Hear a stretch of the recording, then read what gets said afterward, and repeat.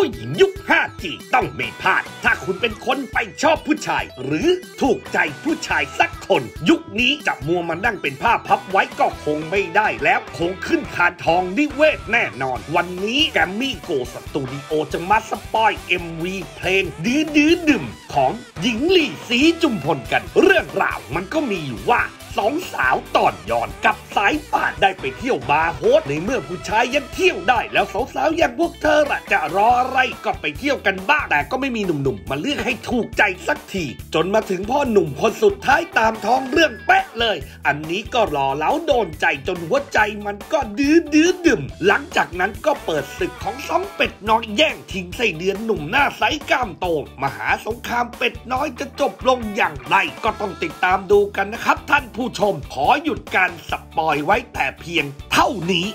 ก็ใจมัน